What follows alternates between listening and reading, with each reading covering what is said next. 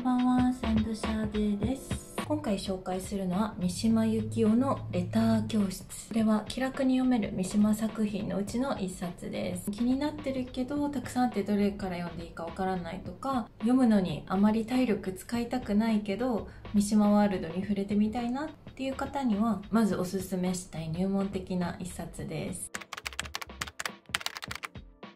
まずはどんな小説なのって話なんですけれども三島由紀夫さんの作品って幻覚交渉みたいなイメージあるかと思うんですけれどもこの作品はすごく遊び心満載なんですね。レター教室っていうタイトルにもあるように手紙形式いわゆる書簡体小説みたいな形をとってストーリーが展開していきます。でどんな人たちの手紙なのかというと年齢様々な5人の男女が出てくるんですね。他人の手紙なんてね読んでも退屈なんじゃないかって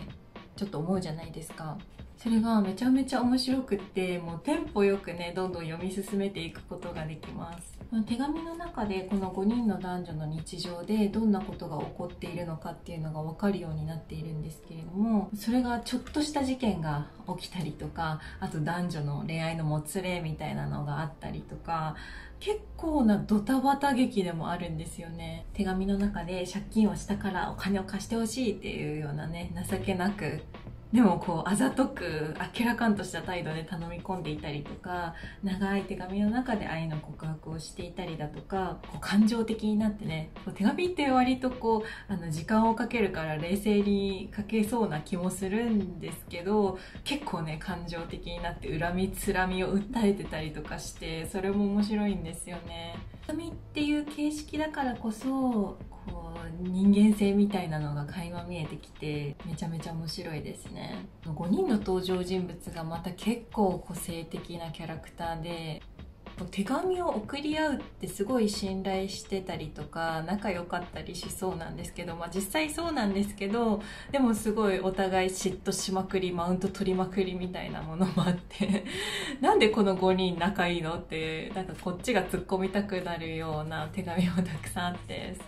結構ねフフフってなるような感じです。この5人の男女がね腹の内を探り合うのをこう読者が神の視点で眺められるような感じがしてそれも読んでて快感ポイントの一つですねまたすっごいおしゃれでこう粋な文章もたくさんあるのがすごいよくって皮肉さえも美しいなって思うんですよね精神誠意尽くして精神誠意尽くして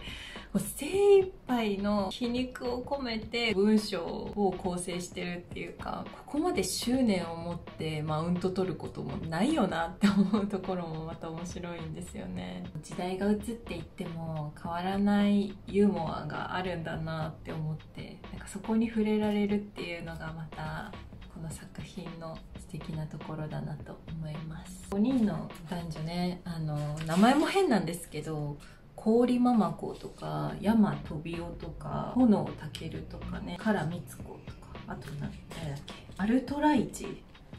とかねもう名前も変わっててこの5人が全員変だし癖強すぎてちょっと関わりたくないタイプだなって最初は思うんですけれども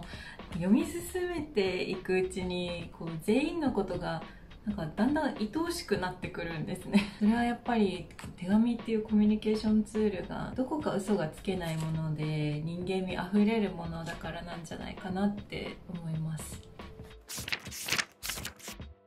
ではここからは私が印象に残った手紙の文章をいくつか紹介していきたいと思います。まずはね山飛びおっていうまあおじさんですよ。こう紳士な感じのおじさんから二十歳ぐらいのね唐光子っていう女性に手紙を送るわけなんですね。とその手紙の中で口説くんですよ、まあ、君は美しいねみたいな感じで。皆さんこう口説きたい時あなたは美しい人ですねみたいにあの褒めたい時ってどんな風に相手を褒めますか今日が素敵ですねとかそんな感じですよね言っても。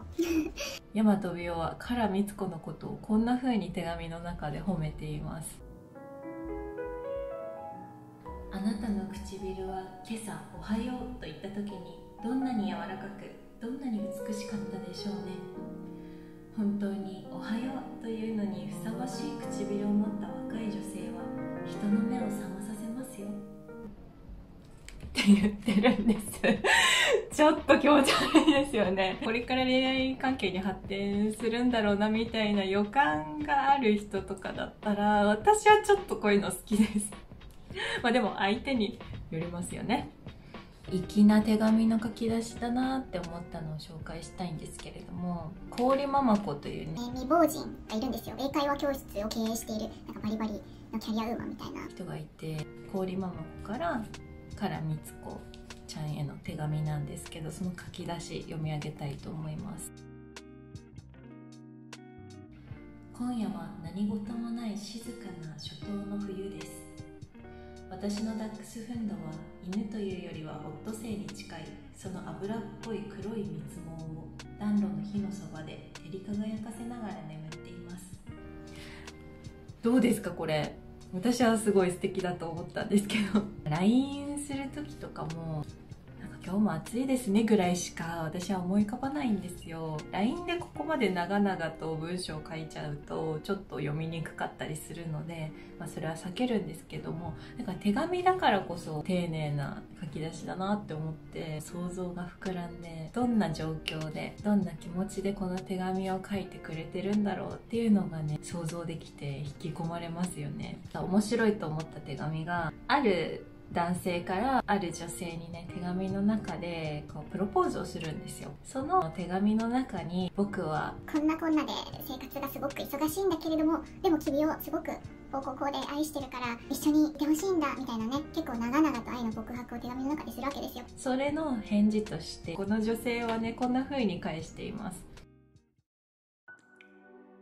でもあなたがアルバイトに朝から夕方まで働きその後で芝居の仕事で夕方から朝まで働くとしたらいつ眠るのですか？それから私は一枚のオブラートではあるまいし24時間のあなたのお時間のどの隙間へ滑り込めばよいのですか？私は今ノーとかイエスとか申し上げるより2人でこの問題についてもっともっとゆっくり真剣に話し合うのが一番良いことだと思います。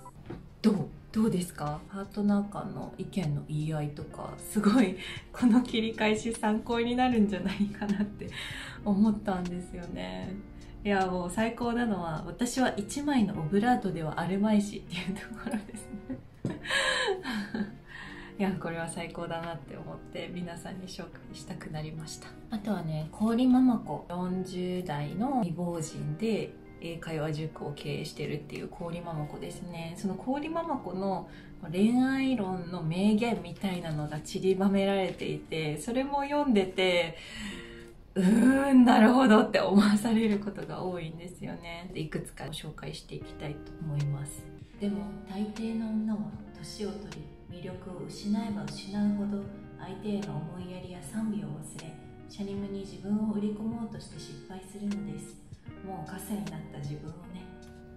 とね。いやー。10年後20年後こうなっていくかもしれない未来っていうのをねなんか感じ始めるとね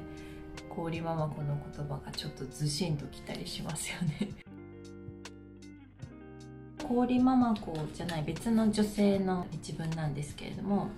こんな男性が理想なんですっていうことを語ってるんですね。皆さんはどんな人がタイプって聞かれた時にどう自分の好みを表現しますか？私はねちょっと前までは儚げな人とか言ってたんですけどこの人はねこんな風に表現しています。私はハムレットのような純粋で悩み多く会議と夢に身を苛まれているような黒のムードの男性が好きなんですけれどそういう男性を見たことがありません。いやーめちゃめちゃわかりません。そんな人なかなかいねえよって突っ込みつつも確かにそんな男性がいたらちょっと魅力的に感じちゃうかも。って思っちゃいました。はいっていう感じで今回は三島由紀夫の「レター教室」を紹介して結構がっつり手紙についてもいろいろ喋ったんですけれどもいかがだったでしょうか？気軽に読める三島文学ということで今回紹介したので気になってる方は読んでこの手紙のこの文章が最高だったみたいなことを教えてくれると嬉しいですし最初図書館で借りて読んだんですけれどもあこれは私の本棚に置いておきたいなって思って改めて購入しちゃいました。ではまた次の動画でお会いしましょう。